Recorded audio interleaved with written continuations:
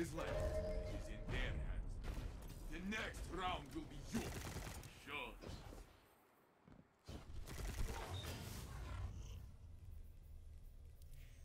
You are behind.